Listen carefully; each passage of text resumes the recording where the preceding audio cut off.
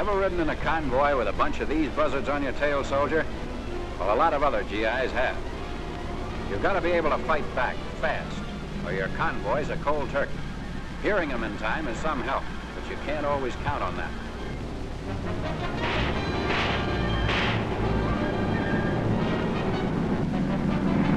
Let's say you do hear them in time to scatter. How are you going to hit back?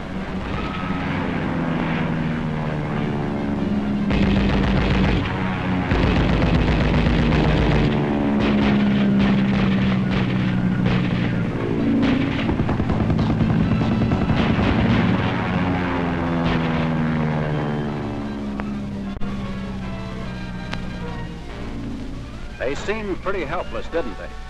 There had to be a more mobile defense, and we've got it.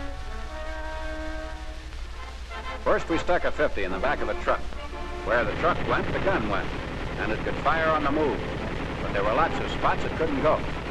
Back in 41, we tried out this job. Twin 50s on a half-track. The idea? More mobility, greater firepower, and an electric turret that spun the two guns faster than any GI could handle. The thing looked good, and from it grew this M13 half-track, a bus that takes rough, fast going and shoots on the run. About the same time came the M15. For greater accuracy, it has to stop to fire, but it makes up for that in the amount of steel it can toss out.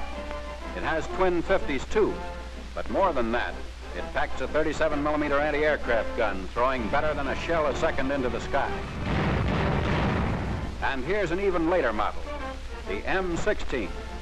It's fast, maneuverable, and rugged.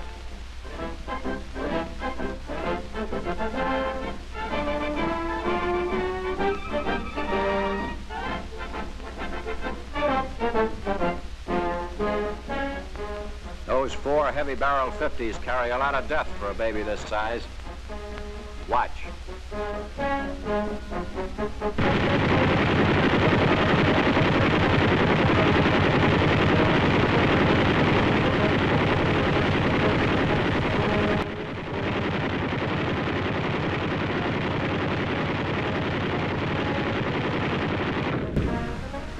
Let's go back to the M13 to get an idea of how these power turrets work.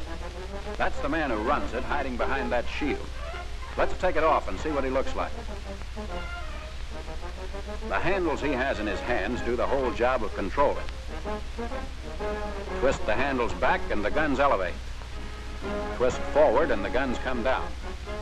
Turn them sideways and the turret traverses that way. If the handles are moved quickly, the guns move quickly. Slow and they move slowly. The guns are fired electrically by solenoids when you squeeze either of the trigger switches underneath your fingers. One switch or both, it doesn't matter. Both guns will fire. Power comes from these storage batteries, charged by that little gas engine. The sight is one we borrowed from the Navy, a Mark 9 reflector sight. It gives you a quick view of your target with no fooling around.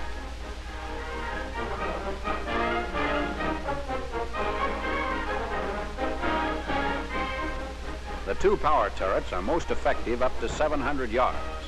Suppose we go back to the M15, which can reach out more than twice that far. On this job, the guns are traversed and elevated by hand. The leads, vertical and lateral, are set in with this handle. If the lead setter pulls it toward him, he sets in a positive vertical lead. Turning it in either direction sets in lateral leads. All the gun pointers do is keep the plane lined up in their scopes. The two cannoneers supply the ammunition and clear stoppages. But don't kid yourself, it's not a pretty nasty weapon. How would you like to have this pointing your way and firing? For 78 Nazi pilots in Tunisia, this was the last thing they saw on Earth, if they had time to look. Okay, let's hit the road. We've been sounding off about the tactical mobility of these half-tracks. Now let's thumb a ride with this outfit to see for ourselves. In combat, every other vehicle carries a radio tuned to the warning net. When action starts, they've got to get their orders straight and get them fast. There'll be no time to stall around.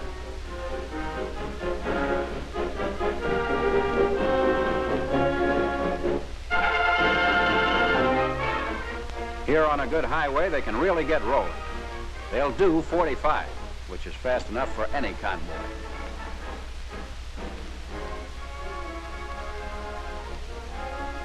They have to slow up a bit for sand and rough terrain like this, but it's still good going, and they can keep it up for a long time.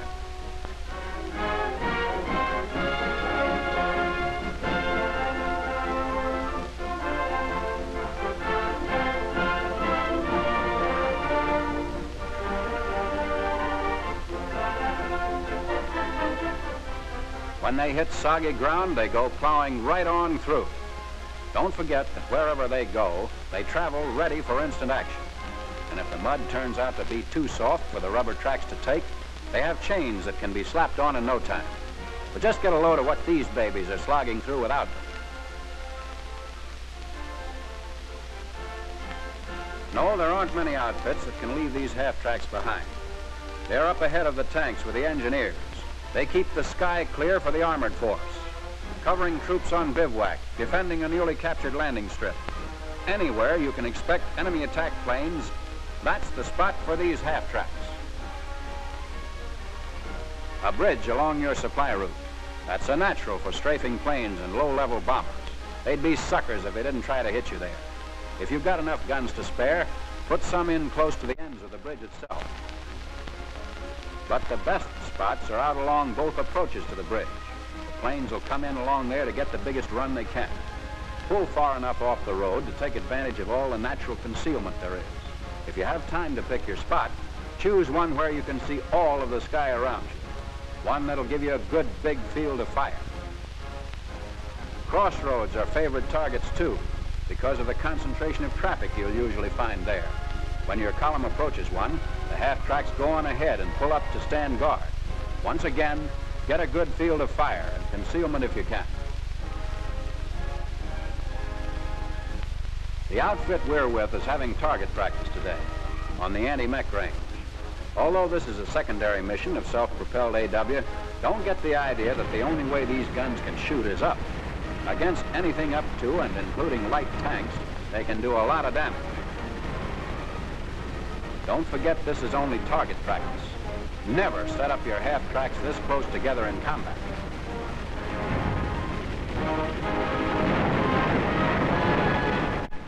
And here you can get an idea of the firepower they can bring to bear on an enemy target.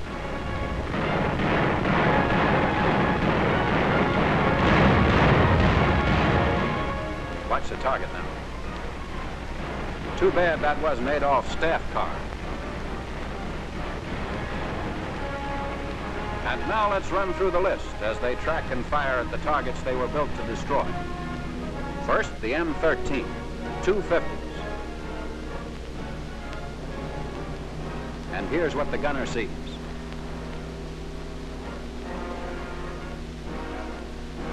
Second, the M15, twin 50s and a 37 millimeter anti-aircraft gun. Last, the M16, four 50s throwing 1,800 rounds a minute. If you're the driver, you never have to worry about some eight ball shooting into your cab. He just can't do it. There's a switch that cuts out the guns at that point. See? Well, that's the works.